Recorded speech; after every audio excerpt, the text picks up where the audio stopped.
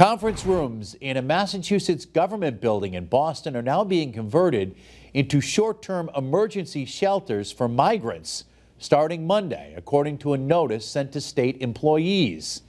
The conference rooms at 10 Park Plaza, the Massachusetts Department of Transportation building and headquarters of the Massachusetts Bay Transportation Authority will provide shelter for up to 25 migrant families, according to a memo from MBTA General Manager Phil Eng. He also said this use of the conference rooms expected to last up to two weeks, quote, until a more permanent location can be identified they have to come back in session to really help uh, the governor to get the money that the governor needs to help with this crisis. Massachusetts Emergency Family Shelter System hit a capacity limit of 7,500 families earlier this month. At that point, officials said they began adding names to a waiting list.